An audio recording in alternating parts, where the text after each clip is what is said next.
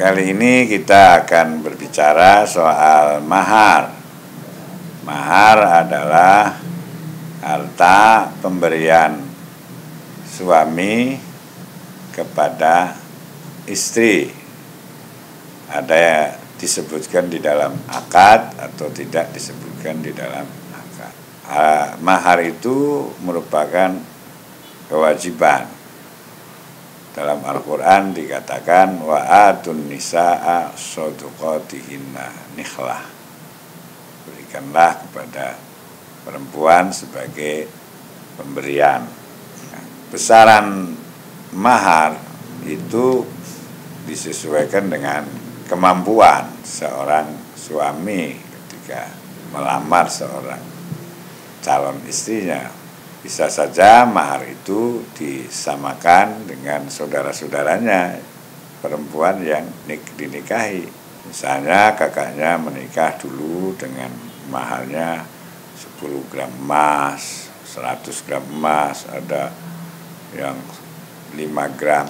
Itu sesuai dengan Nah itu namanya itu namanya mahar misil, mahar yang diumpamakan dengan saudaranya yang lain pada prinsipnya pemberian itu merupakan kewajiban.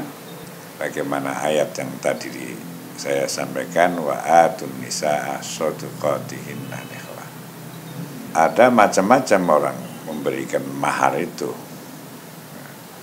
Ada bentuknya uang ada bentuknya emas ada juga bentuknya perhiasan ditambah perangkat alat sholat, ada Al-Quran, ada sajadah, ada lain-lain. mahar itu harus berupa uh, benda harta yang bisa ternilai. Di kita Indonesia ini pada umumnya mahar itu tidak berat. Buktinya apa? Buktinya semua mampu nikah banyakkan calon istri tidak memberatkan pada suaminya soal mahar. Tapi perlu diketahui bahwa mahar itu sebuah penghargaan, merupakan keharusan yang harus diberikan suami kepada istrinya. Juga seorang istri tidak juga memberat-beratkan kepada maharnya pada suami. Karena itu ada iltamis walau khotaman min hadidin. Berikanlah mahar itu walaupun berupa cincin dari besi. Walaupun cincin dari besi harus diberikan sebagai penghargaan. Itu maknanya tidak memberatkan mahar. Tetapi mahar itu merupakan keharusan. Karena itu hargailah istri calon istrimu dengan mahar yang pantas. Ya. Karena itu Rasulullah SAW bersabda, An nikahu sunnati faman rohiba an sunnati falaisa minni. Nikah itu sunnahku, siapa yang membenci sunnahku, maka itu bukan tergolong umatku.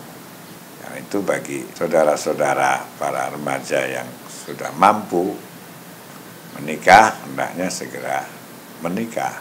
Karena mahar itu di kita umat Islam Indonesia itu variasi dan e, kulturnya tidak mahal. Beda dengan di Arab Saudi misalnya. Itu maharnya mahal. Nah itu banyak apa pemuda yang sudah pemuda yang sudah lebih umurnya lebih-lebih nggak nikah-nikah. Atau banyak perawan tua yang nggak nikah-nikah. Karena apa? karena budaya maharnya tinggi. Jadi budaya mahar yang sederhana yang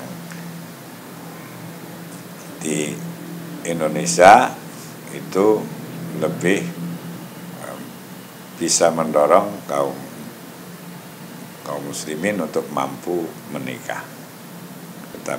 Sekali lagi tidak mengenteng-entengkan mahar seperti mahar dengan barang yang kurang apalah misalnya disebutkan sendal jepit itu. Walaupun sah tapi ya itu kurang memberi penghargaan. Diberikanlah penghargaan kepada istrimu. Wa atun nisa